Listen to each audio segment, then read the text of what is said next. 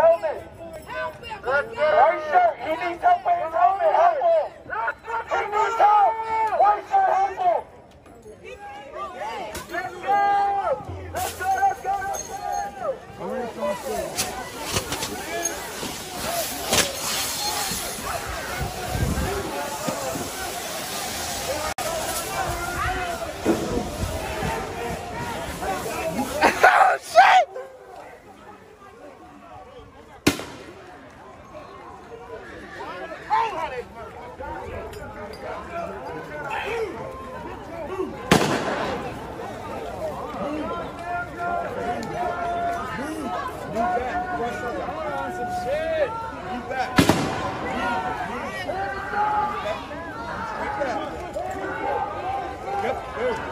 Move.